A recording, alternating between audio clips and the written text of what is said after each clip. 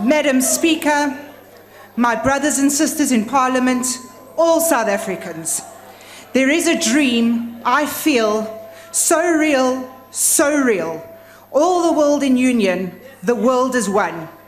Never could we have imagined that the lyrics to the, what is now known as the Rugby World Cup, Cup theme song would be so prophetic.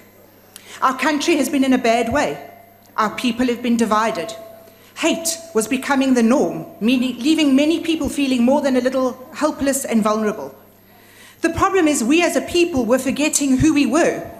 The times in which we find ourselves had made it hard for us to see the light, the flame that burns inside each and every one of us.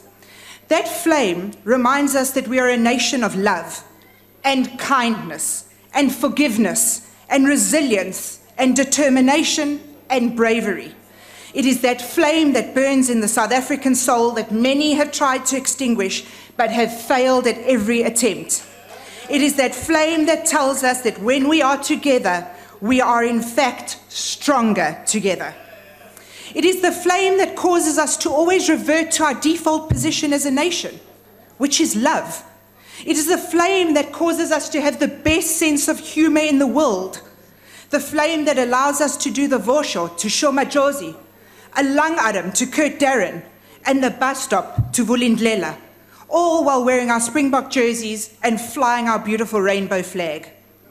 You see, I know this love in our countries is our default position because you cannot fake the utter joy that was felt by 99.999% of South Africans when Captain Fantastic Siya Kolisi lifted the Webb Ellis Trophy. You cannot fake that 99.99% of South Africans had a tear run down their cheek when the Springbok coach Rassie Erasmus gave us the masterclass in nation building. You cannot fake the laughter and happiness that we all felt when Faf de Klerk met Prince Harry in the Bok change room wearing a South African Speedo. You cannot fake the outpouring of love that spontaneously erupted on the streets of South Africa, in our airports, and everywhere that bus went with our champions on board. That is a true love. It's not manufactured, it's real. It is our default position as South Africans.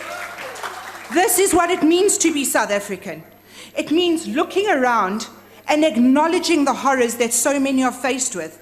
But it is knowing that there is nothing wrong with South Africa that cannot be fixed with what is right with South Africa.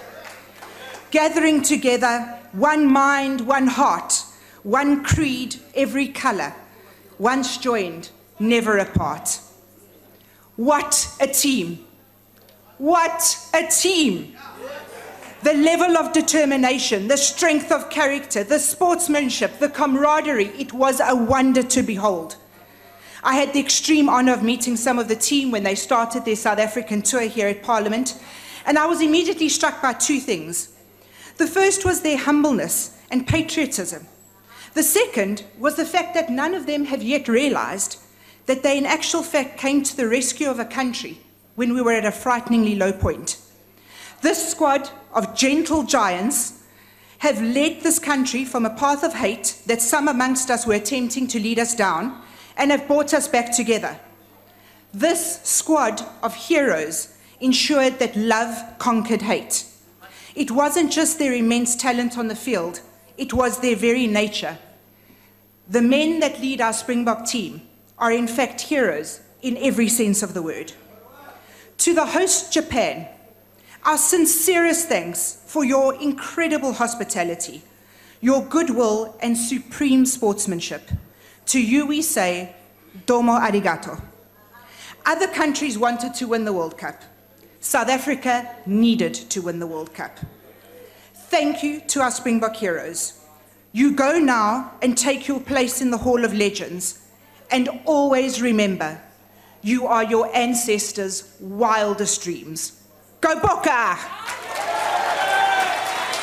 Thank you, ma'am.